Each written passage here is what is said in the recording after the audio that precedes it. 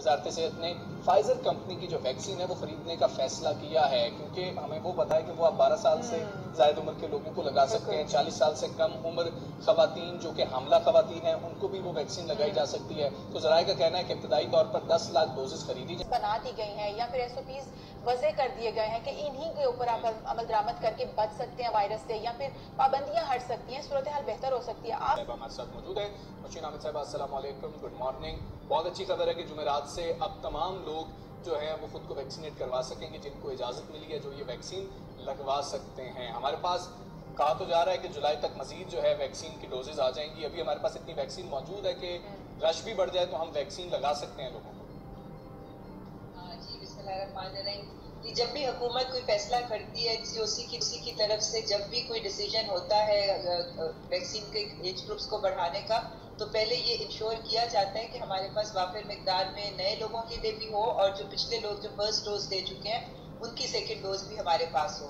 تو یہ بڑی کیلکولیشنز ہوتی ہیں اور اس کیلکولیشنز کی روشنی میں ہی یہ فردر ویکسینیشن کھولی جاتی ہے۔ تو بالکل ہمارے پاس وافر مقدار میں اتنی ویکسین ہے کہ یہ لوگ بھی جو ہیں یہ کور ہوں گے اس کے اندر۔ جی ٹھیک ہے۔ ڈاکٹر صاحب یہ بھی بتائیے گا کہ ویکسین کے حوالے سے ہم فائزر ویکسین کی بات کر رہے ہیں تو اب یہ چیزیں بھی سامنے آ رہی ہیں کیونکہ کم جی ہمیں ضرورت تک باقی ویکسینز جو ہیں وہ ایکسیپٹ نہیں ہوتی.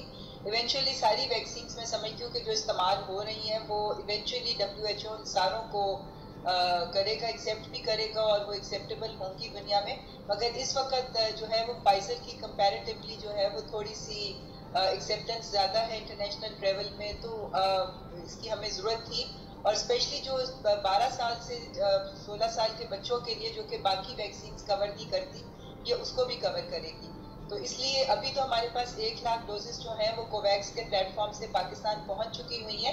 مگر ڈیفینیٹلی پاکستان ہماری دو کروڑ ویکسینز جو ہیں ان کو پروکیور سارے انتظامات کر دیے گئے۔ ٹھیک ہے۔ نشین صاحبہ ہم یہ دیکھ رہے ہیں کہ ویکسینیشن کا عمل جو ہے وہ خاصا تیز ہو گیا ہے جیسے کہ اسموتھلی چل رہا ہے اور میں سمجھتی ہوں کہ آلموسٹ ہنڈریڈ پرسینٹ سیٹسفیکشن ہے جو کوئی بھی وہاں سے واپس آتا ہے۔ ٹھیک ہے ڈاکٹر صاحب یہ بھی بتا دیجیے گا کہ جو فائزر کی ویکسین ہے تمام جو ہیں ان کے اوپر چیک ہے کیونکہ ہمارا پراپر ڈیٹا انٹری سسٹم ہے نیمس کا جو نیشنل مینجمنٹ سسٹم ہے اس کے تھرو ہر ڈوز جو ہے وہ مانیٹر ہو رہی ہے۔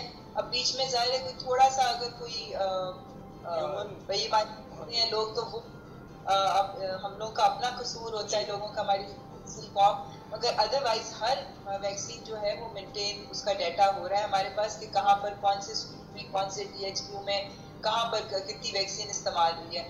فائزر کے بارے میں آپ کو بتا دوں کہ یہ چونکہ مائنس سیونٹی کے اوپر سٹور کرنی پڑتی ہے۔